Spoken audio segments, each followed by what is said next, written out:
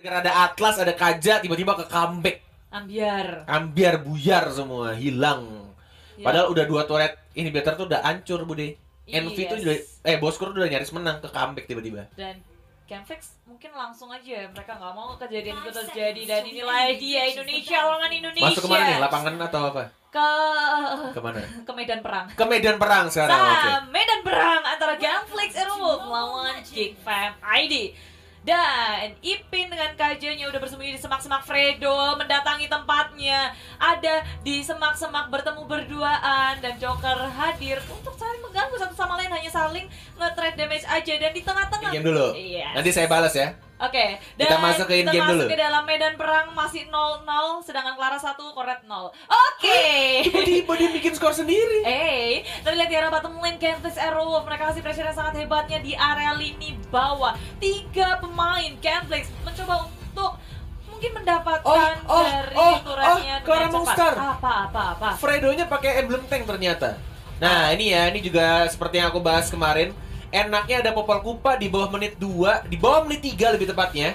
Walaupun ada turret protection tapi masih bisa di-push dengan cepat. Itu Iya. gunanya si kupa. Emang sekuat itu. Buat nge-TB-in juga Hmm. Dan sekarang Genflix Aerowolf mereka berotasi ke area mid lane Udah cukup puas mengamankan bottom lane Berarti satu lane di arah bottom lane Bisa didominasi oleh Genflix Aerowolf Tinggal tersisa dua lane lagi Geek Fam ID sekarang udah berkutat di area jungle. Dan Genflix Junior, Genflix Aerowolf juga udah mulai masuk. Feather Strike dikeluarkan. Hanya untuk mengusir mundur Bong Koko dalam bahaya. Dikejar-kejar terus menerus Sampai dia harus memakai flickernya Yes, benar banget sudah menit 3 sekarang. Turtle juga sudah mulai muncul untuk pertama kalinya dan tampaknya Genflix. Oke, mereka langsung berlima, berkumpul dan juga menjaga. Plus ada trap juga yang sudah dipasang oleh Popol Kupanya sama Rave-nya dan ini mungkin akan menjadi Turtle yang gampang untuk Genflix walaupun tidak ada retribution ya. Iya, ini turtle yang mungkin bisa dibilang gampang banget buat Genflix Wolf karena ini berimbas banget dari awalnya mereka ngasih pressure di arah bottom lane, di arah mid lane, jungle lane. Jadi give him ini, oh, Wih, masih hidup! Oh my god, flickernya ke atas dan dia langsung Shunpo plus Jet Kundo lagi, Shunpo lagi. Wah, emang Fredo si mainnya gokil ya. Dia Di dari zaman. MPL iya loh main cownya. Wah, wah, wah, wah, boleh, boleh, boleh. digejok meliuk-meliuk dan Digejuk. digejuk, eh digo, Digejuk. digojek, Go, gojek. digocek, Gocek. gocek, digocek. Pakai kek kek. Sur. Oh, meledak lagi lihat tuh. Di live kirinya. Mau dapetin buff berwarna merah tapi Clay tidak berhasil mendapatkan Joker dan mungkin akan diamankan untuk buff merahnya dan Sonata hanya untuk sedikit mencicil saja siapa yang akan mendapatkannya dan didapatkan oleh seorang Watt. Wah, ini Genflix sih. What a what? Genflix Aerowolf main sangat cepat banget sekarang. Wah, Tier pertama semuanya sudah habis. Mau dipukul mundur semuanya dari Geek Fam ID. Dengan Feather Attack gak ada yang bisa mendekati sama sekali ke area Genflix Aerowolf. Damage yang segitu besar, blue buff dicuri. Geek Fam ID semakin terhimpit.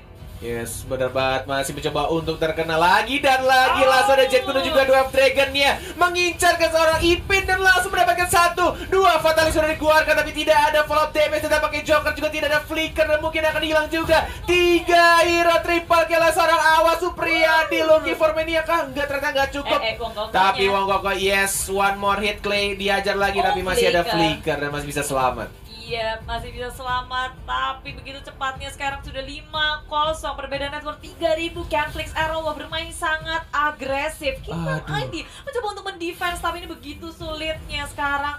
Dan apalagi dari AM Jago nggak ngedapetin farming yang cukup nyaman.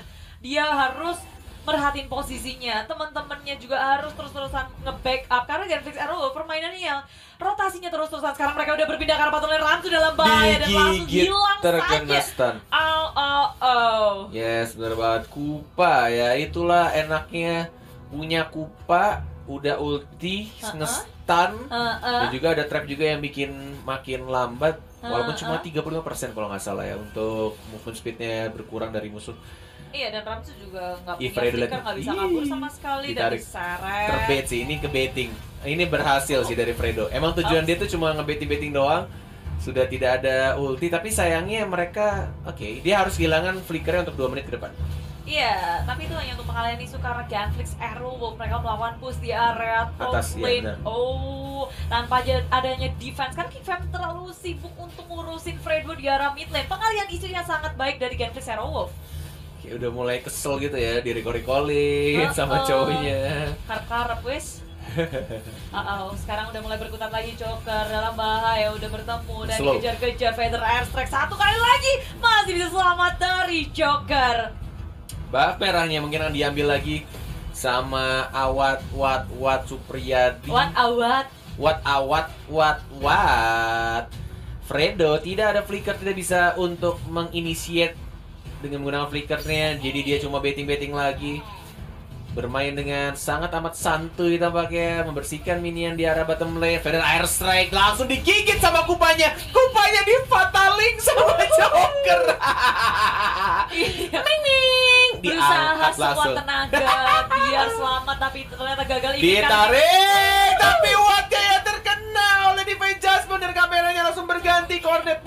mau komentarin apa, tiba-tiba diganti kameranya. Oke, Eh. langsung drone mode on karena sekarang Genflix Arrow ketika di arah top lane ya, Watt dan juga Rinasmi berhasil di pick off. Teman-teman yang lainnya mencoba untuk melawan split push ke area inhibitor arah mid lane. Rupanya nggak menghasilkan apa pun. Geek Fam ID masih punya napas dan dua kill akhirnya dikantongi oleh Geek Fam ID. Yes, dan pemilihan itemnya cukup berbeda dari Rave ya. Dia langsung bikin si Halberd-nya. Biasanya kalau kemarin itu cuma bikin Deadly Blade-nya terus langsung bikin Immortality atau item-item lain, tapi kalau misalkan dari Rave dia langsung jadiin si Halberd untuk kupanya ya. Iya, dan barusan Koko juga dia punya enchanted talisman, dia mau nge-spam bisa-bisan karena Ini sekarang Fredo sih offset banget. Oh, oh, Perfect Fredo-nya match. dalam bahaya. Swipe kanan, langsung fataling, dilempar lagi masih ada flicker, harusnya Fredo Oh, digocek lagi. Baik bang, dikeluarkan hanya untuk satu hero ke arah cowoknya doang. Dan lihat perfect match lagi ke arah belakang, mau dikejar lagi, lihat terkena stun tapi masih bisa untuk kabur satu untuk satu. Ipinnya juga harus tumbang. Dan tampaknya Ramzu. Masih ada ejector, masih ada flicker juga. Pergi ke arah belakang. Feather yang tepat di tengah-tengah Uh. dan harus semua damage dari Momo Dia berada di area dalam areanya. Damage yang begitu sakit dan Genflix Aerowolf Mereka gagal untuk melakukan push lagi. Fredo terlalu offside nggak bisa untuk melakukan hal yang ingin mereka lakukan. Yes, benar banget. Dan ada invasi ala yang banyak. Salam ya, salam-salam Nah, masuk lagi ke dalam gamenya karena kita sudah bersiap untuk melihat game pertama di match yang kedua yang kondisinya Genflix benar-benar lagi Joker. enak-enaknya. Joker perfect match ke arah belakang di swipe kiri. karena tidak perfect tampaknya seperti Tidak. Clara Monster yang selalu swipe kiri kalau misalkan lagi perfect match. Uh, uh, uh, oh, mohon maaf saya nggak main itu. Tapi inilah dia Gameplay Arrow mereka ingin mengamankan Lord yang pertama. J-Fam ID mencoba untuk mengganggu tak bisa. Veteran Attack di pop up Ipin udah terlalu low. Ramzu mencari celah untuk melawan split push di area bottom lane tapi rupanya tak bisa. Lord. Ray begitu sekarat. Coba bertahan tapi layaknya sekarang. Dua. Coba Fredo, kabur. what? Ayam jago dalam What bahaya. Fredo-nya masih bisa selamat. Survive dan bongkok yang harus tumbang. Bu- bu- Lebih tepatnya Fredonya nggak langsung nendang tadi dia. Dia hanya Iya. sedikit terpaku melihat seorang ayam jago. Ya mungkin agak sedikit misklik atau ada sedikit gangguan koneksi aku nggak tahu. Tiba-tiba langsung kayak diem nge-stuck gitu. atau dia terpesona mungkin dia Terpesona. juga ngeliat kayak oh ini udah nggak bisa nggak bisa. Ramzu untuk Pada jalan-jalan akhirnya dipanis oleh tim Genflix Aerowolf Satu bar terakhir dan tampaknya akan diamankan dengan mudah walaupun masih di bawah menit 12. Dan yes didapatkan oleh Wat Wat Awat Wat Wat Wat Wat Rawat Wat Wat Wat Supriyadi. ya Lord yang pertama tanpa adanya gangguan dan Nat kalau kita nyanyi aku takutnya tau gak sih apa Apa? kena copyright Enggak enggak bakal suara aku loh. Tenang aja. kalau aku loh mohon maaf Ih sombong banget Nggak bisa nyanyi kamu ya Sekalinya di video nyanyi malu Ih malu malu. Iya. Eh lihat, ini Ipin udah punya fleeting time dan kalau dari sisi tim Genflix Aerowolf yang paling tajir ini ada di Rinasmi. Uranusnya 8000 network dikantongi. Oh iya Tebel ya? banget sekarang dia. Oh iya Oracle 8070 dia udah kantongi, tapi Pasha juga udah sakit banget. Lightning Trunken sudah dikantongi. Hmm, Game ID, mereka harus bisa bertahan dan mencari celah untuk menculik. Ini yang diculik juga bingung. Clay-nya juga punya peran penting, Watt-nya juga. Siapa yang harus mereka ambil? Oke Yang harus difokuskan. Sudah ngamenin Dominance Ice mungkin mau bikin Thunderbelt dari Popol Kupanya. Iya, tapi yang jago udah sakit banget sih sebenarnya. Dipukul mundur, diganti lagi drone view di arah tengahnya terkena banyak banget damage dari Feather Air Strike menuju ke arah bottom lane dan juga di arah atas Rinasmi sendirian nge-push 4 melawan 5 di arah bottom lane belum dikeluarkan ultimate-nya masih santai juga Fredo Feather Air Strike lagi Ipinnya dipukul mundur tidak bisa menggunakan flickernya combo dengan Divine Judgment dan mungkin di arah atas mau dipus lagi kah? Belum ada minion yang masuk.